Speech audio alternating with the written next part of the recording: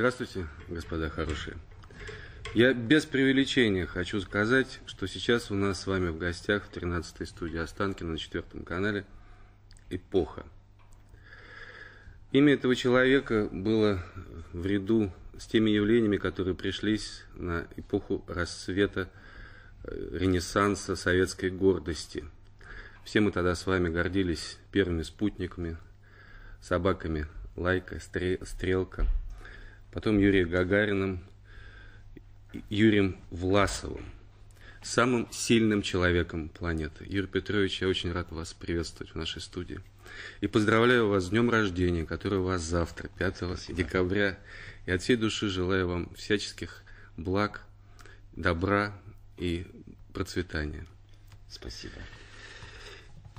Юрий Петрович, вы прожили долгую жизнь на таком твердом Олимпе советского государства. Вы были олицетворением силы и мощи этого государства. Вам приходилось сталкиваться с сильными мира сего, пожалуй, на протяжении вот долгого-долгого промежутка времени всей нашей истории.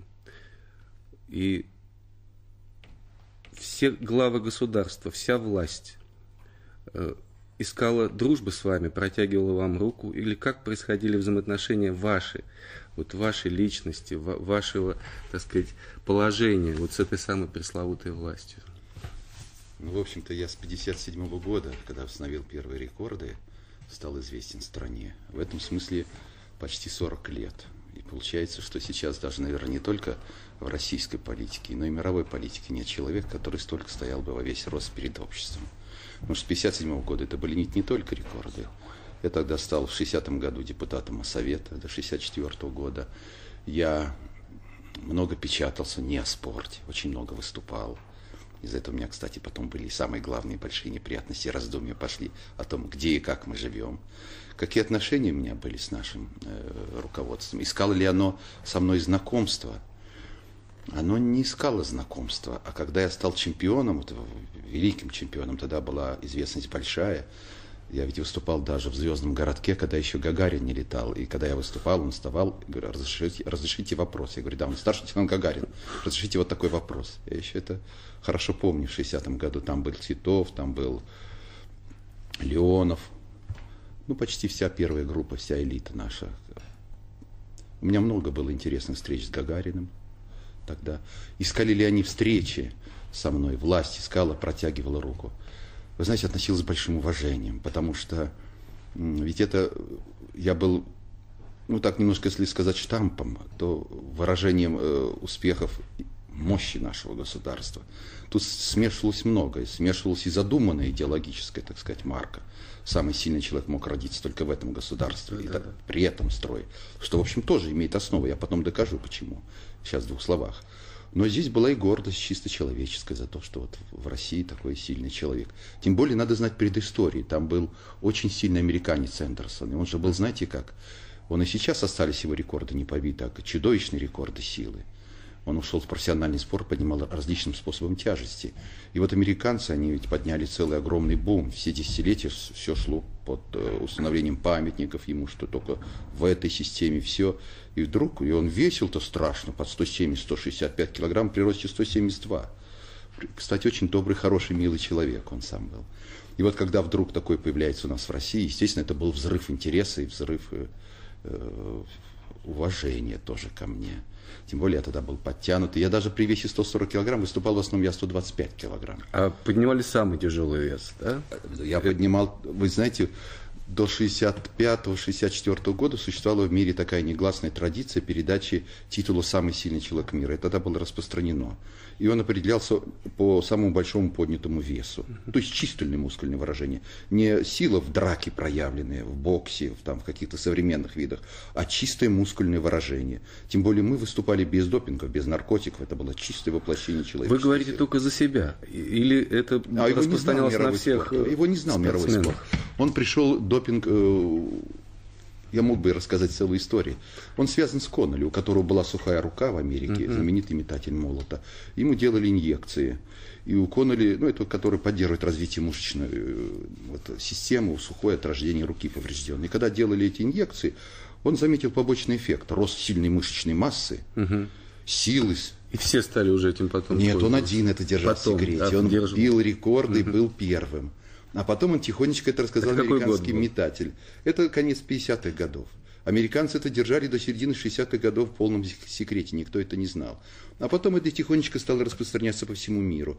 К наш спорт это пришло 68-69 год. А с начала 70-е годы это была уже государственная программа, это уже официально мы пользовались наркот... этими. Они на уровне наркотики считаются. Хотя это не наркотики, но они изменяют мышечную массу искусственно. Но вы принципиально не, не пользуетесь а этим? А оно даже не было в мое время, мы не знали об этом. У нас была тренировка вот головой, надо было искать э, наиболее рациональные методы тренировки, чтобы войти соперника, а не традиционные. Тради... Вот одним способом тренируйся, он приносит тебе великий результат.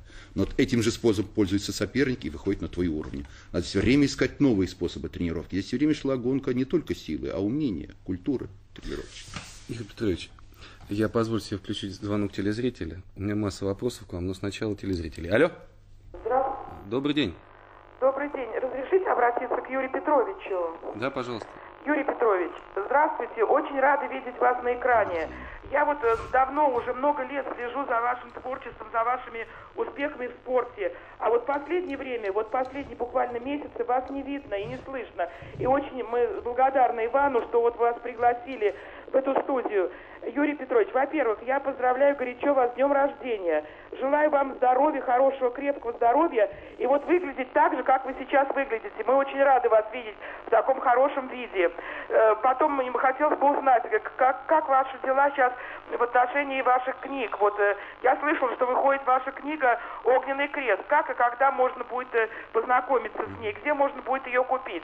И еще, Юрий Петрович, пожалуйста, если можно, в нескольких словах, Расскажите вот ваши ощущения за последние месяцы, как вы ощущаете состояние в нашей стране. И хотелось бы знать, как у вас эм, э, вот в отношении выборов, почему вас не слышно, почему мы не видим вас в списках, э, как это все у вас, э, почему странно вы такой активный и такой, как сказать, честный и э, э, такой человек, вот вы совершенно не слышно вас. Где вы сейчас? Спасибо. И где вы баллотируетесь? Где вас можно увидеть? И как вас, с вами можно встретиться? Спасибо. Вот это вопрос мой. Ну, такой маленький э, вопрос, который, я так подразумеваю, требует ответа на практически на всю передачу. Что касается книги, я уже стал, на ее листал, она вышла. Я быстренько отвечу.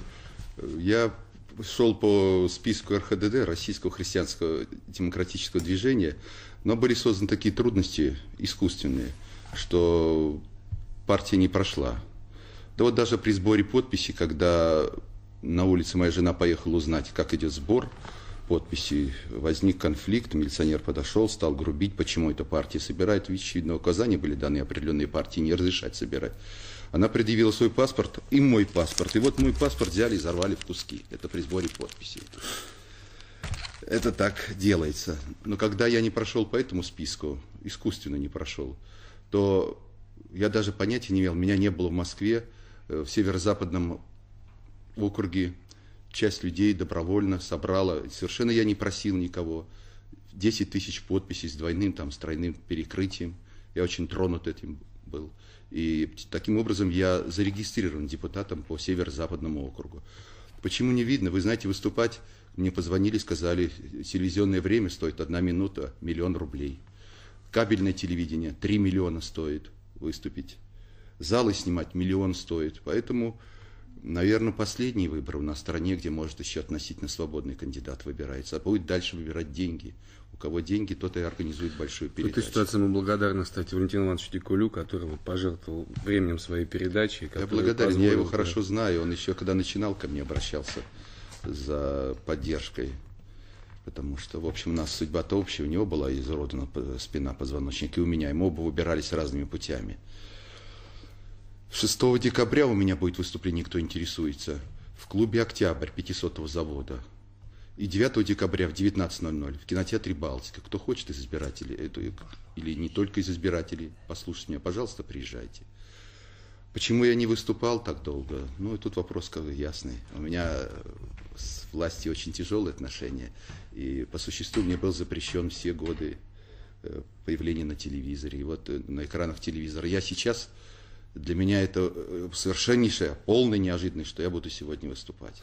Я считал, что меня больше вообще телезрителей в стране не увидят на экране телевизора. Игорь Петрович, ну я считаю, что это крайне несправедливо, потому что можно по-разному относиться к вашим политическим сегодняшним взглядам, но то, что вы человек, олицетворяющий самое лучшее, что есть в нашей стране, по-моему, это бесспорно. Вы знаете, если бы только телевидение, но и газеты все запрещены. Это, конечно, печально. Печататься, я всегда говорю, меня вырвали язык. Алло. Алло. Да-да. Здравствуйте. Э, У меня вопрос к Юрию Петровичу. Да, пожалуйста. Э, Юрий Петрович, расскажите, пожалуйста, что-нибудь о своих о своем тренере, который вас начинал тренировать, или которым вы тренировались, как сказать, до самого конца. Нет, вас не слышно. Хорошо, я только единственное, мы не успели ответить по поводу огненного креста, Юрий Петрович. Да, вот сейчас на предыдущий вопрос закончу. Я много лет писал, почти 20 с лишним, под 30 лет, большую книгу собирал, документы. Я встречался, у меня вообще очень в этом отношении была интересная жизнь. Когда прошел 20-й съезд, хлынуло много людей из лагерей, потом много документов пошло. Стало переворачиваться представление о том, что, в каком мире мы жили. А за ним пошло другое многослойное познание мира. И вот я тогда много встречался, я видел очень интересных людей в нашем государстве. И первых лиц я видел в государстве. И понемногу у меня уши были все время расставлены. В книги вошли очень интересные документы, очень интересные встречи. Но книга, конечно, не, не мемуары, это историческое, художественно-историческое исследование. Она выходит сейчас в издательстве «Прогресс» вторым изданием. Э, жаль, что всего 10 тысяч экземпляров тираж. Был намечен 150 тысяч. Я думаю, тут не сыграла роль и, конечно, как мне объясняет цена на, рыночном, э, на рынке бумаги, но, думаю, моя книга бы разошлась. Думаю, это тоже определенное политическое давление. Со 150 тысяч экземпляров. Тираж был снижен до 10 тысяч экземпляров.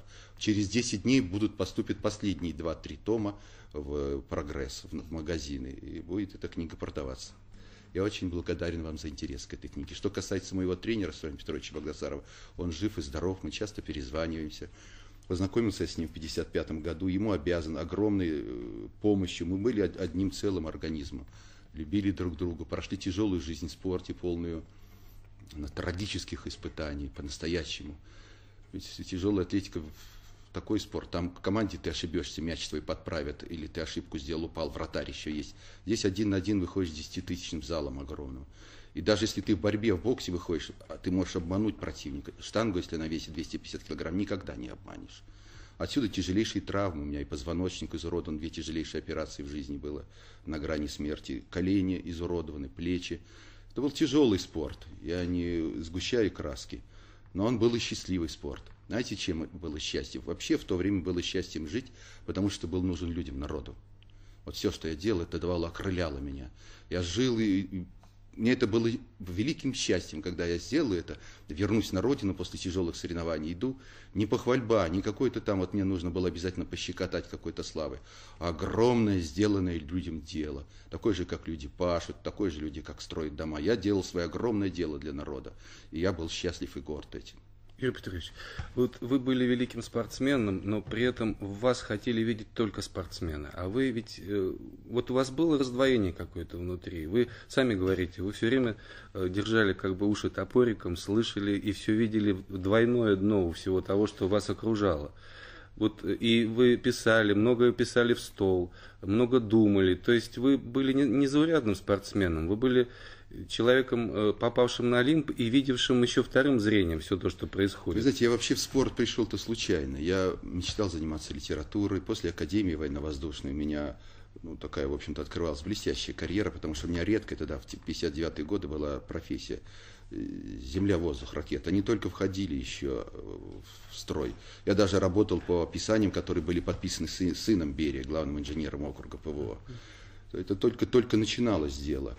И в, это, в этих условиях, конечно, для меня было очень много... Я фактически по окончании академии попал на полковничью должность. Не было таких людей такого профиля. Но я настолько увлекался литературой, настолько любил ее, что для меня спорт, когда начался, он открывал возможность заниматься, время было. У меня не было только как бы жесткого поэтому, да? И я пошел, это не только поэтому, меня увлекал спорт, но мне давал вот эту блестящую возможность. И в конце с литературу целиком съела. Я ушел в эти разгар силы еще, полный сил и спорта, и целиком перешел на литературу.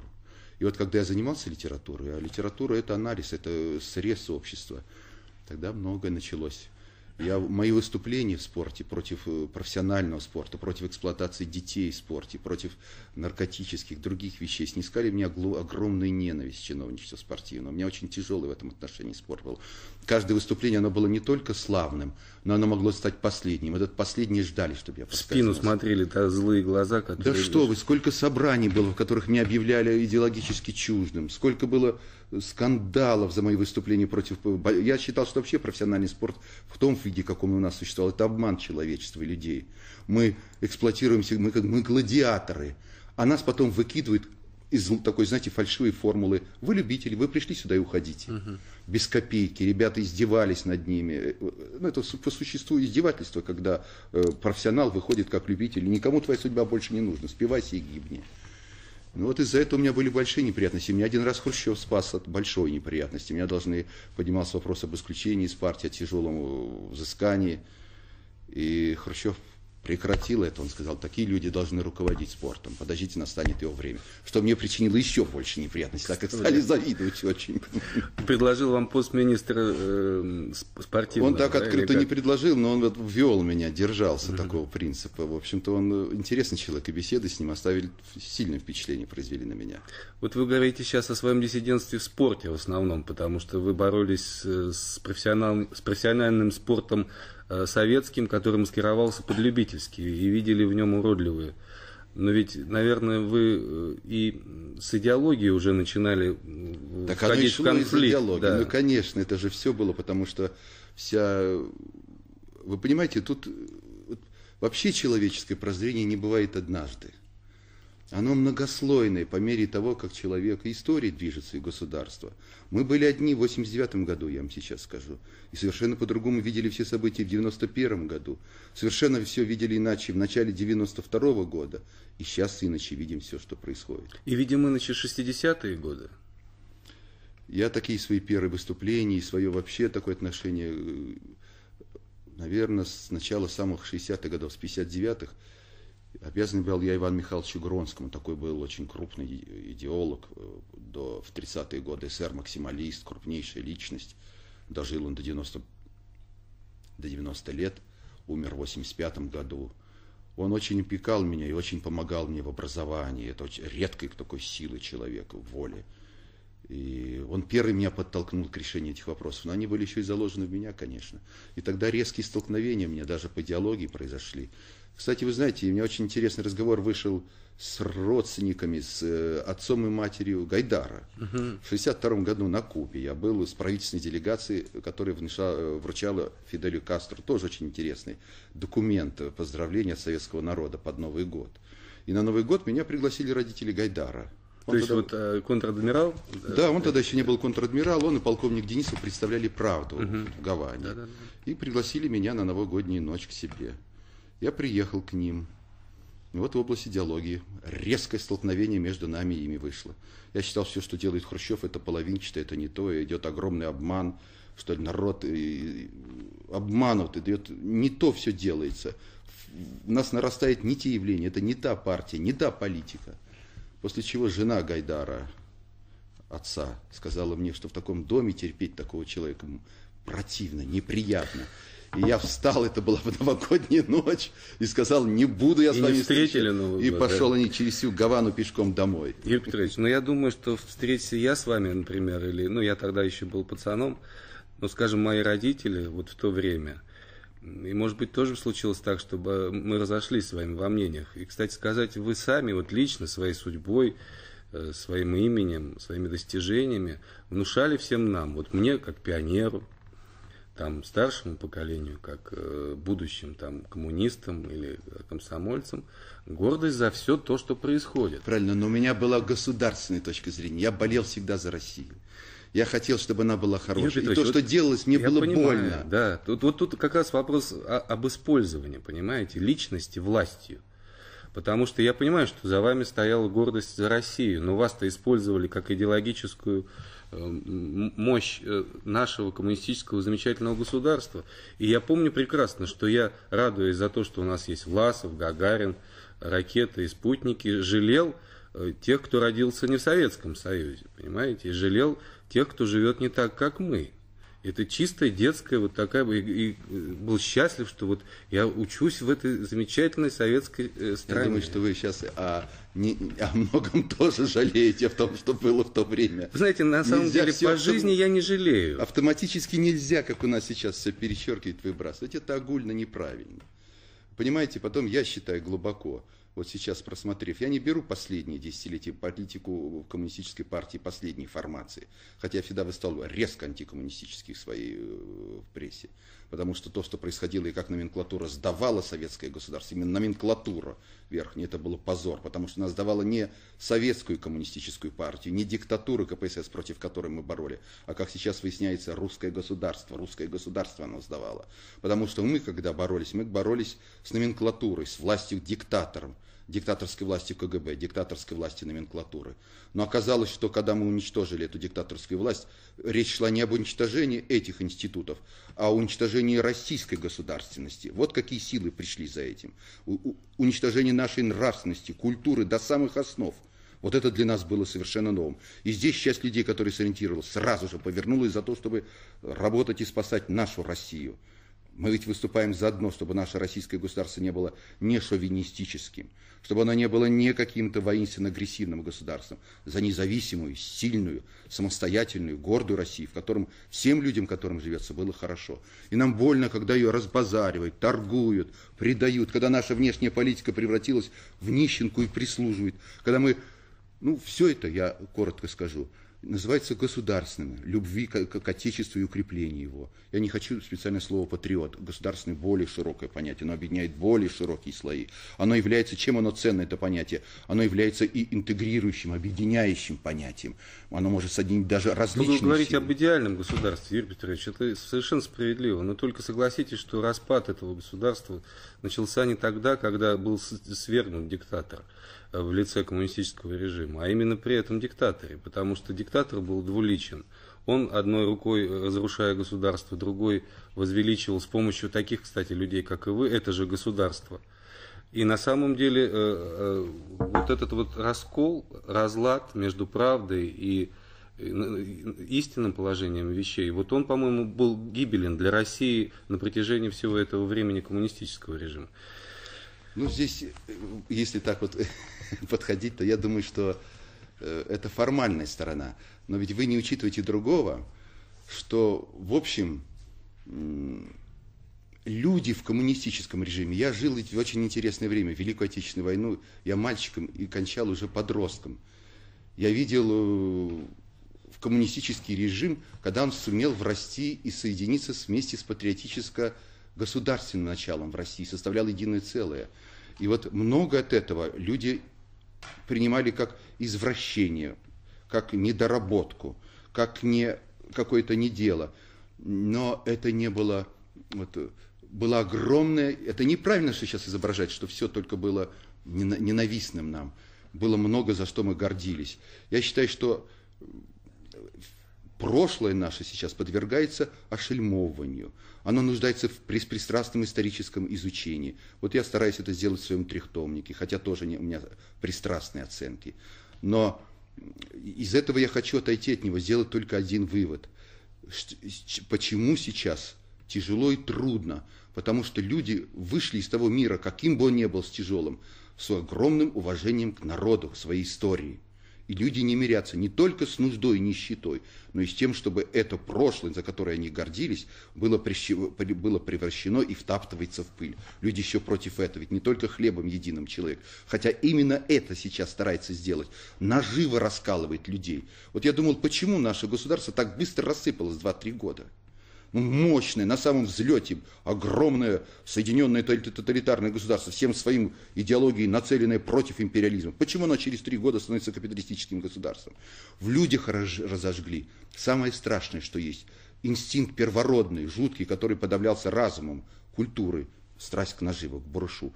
Каждому что-то дали и крикнули и дали клич «Грабь!».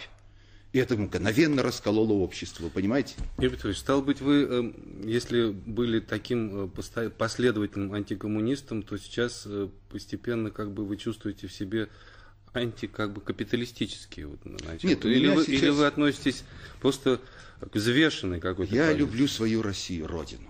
Любят ее все. И левые, и правые могут так Безусловно. сказать, они по-своему. Но события вот недавние, 3-4 октября, 5 вызвали у меня глубочайшее потрясение в жизни. Я испытал, наверное, самое тяжелое. Даже, наверное, так, когда папу хоронил, я и маму не пережил так, как эти события страшные. Э, выводом из них у меня будет один вывод всегда. Я думаю, что мы должны соединять сейчас все силы для того, чтобы строить Россию на принципе не ты паршивый кадет, я с тобой дел не хочу иметь, ты паршивый такой, я с тобой не хочу делать, ты вот э, большевик, я видеть тебя не хочу.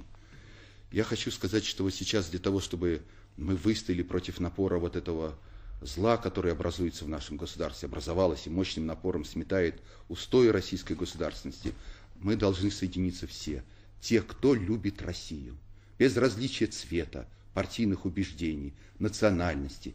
Только это даст нам возможность отстоять Россию. В растопырку каждый один за себя, высчитывая какую-то ненависть партийную, узкую, злобную, какие-то пункты, мы все проиграем. С этим трудно спорить. Алло? Алло? Да-да. Здравствуйте. Здравствуйте. Э, хотелось бы прежде всего от своего имени, Горяйнов моя фамилия, э, поздравить Юрочку я имею на это право, так сказать, потому что мы вместе учились в Суворовском военном училище в Саратове. Вот. Пожелать ему здоровья, счастья, всего наилучшего. И второе, когда становишься старше, всегда как-то вспоминается Саратов, вверху помню Кукарцев, внизу Юра Власов, наш э, тренер Хрусталев, полковник. Вот немножко бы затронуть такую тему. Всегда приятно вспомнить Саратов. Наш, так сказать, Суворовское военное училище, наш, наша жизнь. Вообще приятно так. Немножко такой темы. Угу. Трудно было дозвониться до тебя, Юра, но вот решил все же позвонить сюда. Спасибо. Спасибо все. вам. Спасибо. Юрий Петрович, вы знаете, вот я слушаю вас и понимаю, что мы, в общем, сейчас на самую Я такую скажу, острую... Что вы говорите нам, даже тему. без острой темы, нужно часа полтора хорошо. Я согласен с вами. Ничтожно я... малое время. Мы все время, я все время за язык себя обрываю, обрываю. Безусловно. Целые пласты огромной интересной жизни, не политики даже, да. не какой-то пропаганды политической, а просто интересных судеб. Отечества, свидетелем которого я был – интересным свидетелем, потому что меня жизнь вывела на какой-то интересный, любопытный уровень знакомства и свидетельства ввиду моего большого спортивного веса. Я был приглашен, знал, да. видел. Да и папа мой был крупнейший разведчик нашей страны. Он мне тоже, как бы, я наследовал от него. Кстати, об этом тоже немного, немногие знают. Я бы два слова вот хотел да, от вас услышать. И, и вот целые пласты выпадают в разговоре. Это огромнейший интересный пласт нашей культуры. Отец ведь был э, э военным советником, или как правильно сказать? Нет, Китае, он закончил в 1938 году э, Институт востоковедения именно Римана. Но угу. фактически там готовился, был спецфак, готовились кадровые разведчики. Угу, угу. ГРУ, Главное разведывательное управление. Папа его закончил, из, э, ну, у него было много командировок в Китае. Он очень сильным себя китаистом проявил. Он блестяще знал китайский язык, знал все диалекты. А у них диалекты отличаются, как у нас украинский, белорусский, да, польский. Да. Он ими владел свободно. В 1942 году он оказался при Мао Цзэдуне, возглавлял нашу ТАСовскую группу, под которой скрывалось в э, количестве 13 человек кадровая разведывательная группа. Отец должен был следить за тылами Квантунской армии, потому что отсюда существовала, несмотря на все документы Зорги, опасность нападения. В случае падения Сталинграда эта группировка, конечно, устремлялась на Сибирь, как они называли, Сибирьго. И папа там ее шпиговал агентуры и получал все данные. Агентуру он черпал из коммунистической партии, потому что Китай это были люди того, той, той же э, вид внешний, той же национальности. Но когда он стал работать, его заинтересовали некоторые большие интересные вещи политические, которые происходят в Компартии Китая, и личность Мао Цзэдуна. Он этим не имел права заниматься как армейский разведчик. Он стал этим заниматься. Любопытство его сгубило, да? Но он принес стране огромную пользу, потому что добыл бесценные документы. Да, его книги это. Да, это сейчас, единственный уровень. Вот поэтому меня и принимал Андропов, была интереснейшая беседа, около 40 минут, потому что я к 1975 году, к 1974 являлся единственным носителем этой информации, потому что работал непосредственно документами э, отца в архиве ГРУ. Уцелели ли сейчас эти документы, я не знаю. Юрий Петрович, я знаю, что когда он почувствовал, что над ним нависла опасность ареста, он с вами запирался еще с юношей. Но он запираться не стал, потому что он знал, что все подслушивается. Он водил меня в парк. В парк. И в парке он говорил, но его главная тема была не это. Он был кристально честный человек. Огромный разведчик, огромное положение. Мы жили в коммунальной квартире, у нас не было никогда автомобилей. Отец из рабочих вышел из Кузнецов, потом был в горно-спасательной станции, он считал, что это развращает, что это мерзость, что это не революция, это подлость, когда так люди своих детей воспитывают. И он держал нас в жестком, настоящем таком теле.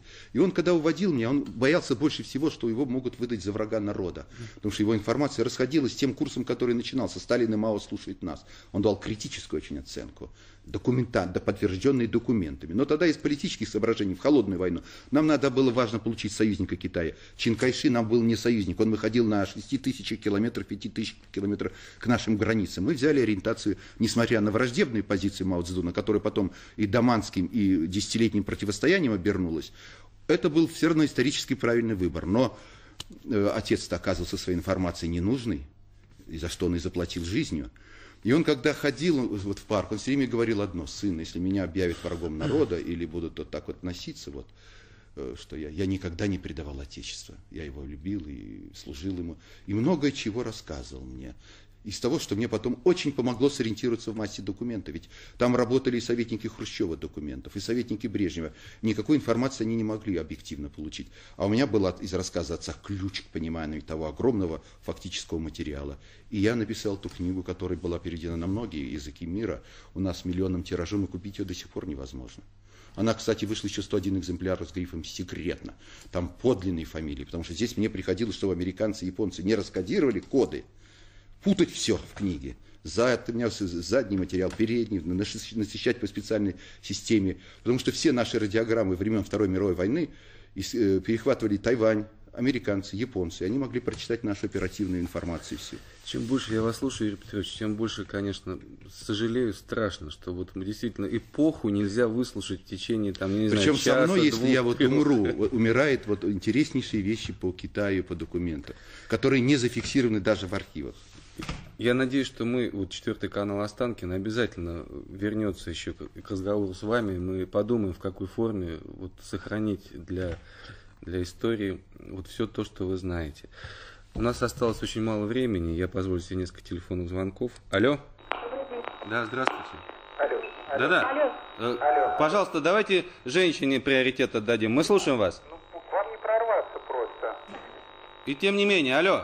Да, Юрий Петрович, добрый день. Э, Скажите, пожалуйста, чувствуете ли вы сегодня внимание к себе со стороны э, с- средств безопасности, со стороны органов безопасности? Вот вы очень точные слова нашли для сегодняшней ситуации в стране, а как у вас с этим? Мгм, Спасибо. Алло, алло. Я еще? отвечу на этот вопрос, как э, внимание со, со стороны органов безопасности. 92 год и половина 93-го я не мог идти по, по Москве без огромного хвоста, который не прятался даже нагло, иногда даже хулиганские вещи позволял себе разглядывать, раз- ну, как идешь вот под охраной.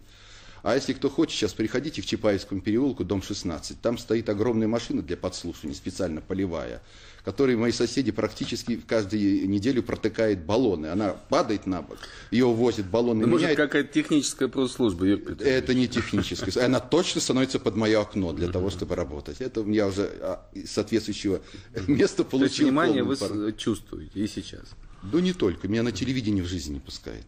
Меня срывает газетные статьи. Меня встречает, встречи срывает.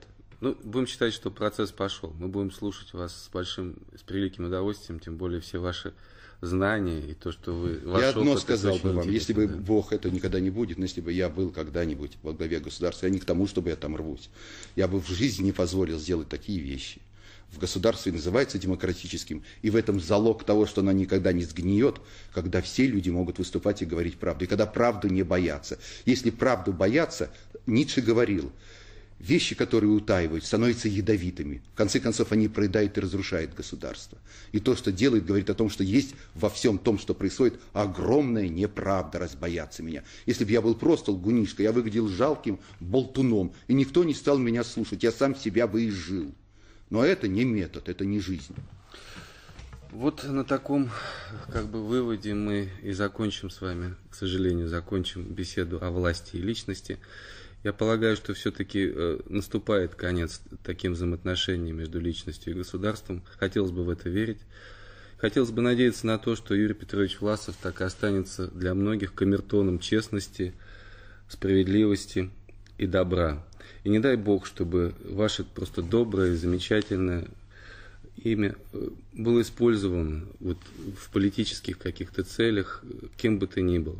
Я желаю вам еще раз э, всего-всего наилучшего, Юрий Петрович. Еще раз поздравляю вас с днем рождения. Извините, что мы вынуждены закончить нашу беседу. Я очень вам благодарен, потому Спасибо. что с вашей помощью я смог выступить впервые, впервые за многие-многие месяцы. Спасибо вам. И спасибо тем, кто поздравил раз. меня. Завтра мне 58 лет. Спасибо, друзья. Я прощаюсь с вами до 13.30. Всего доброго. До свидания.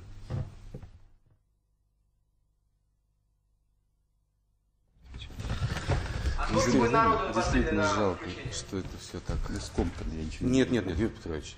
Произошло главное, на самом деле, вот для меня. Что значит скомкано? Последовательно, чтобы рассказать все, что вы хотите сказать, не хватит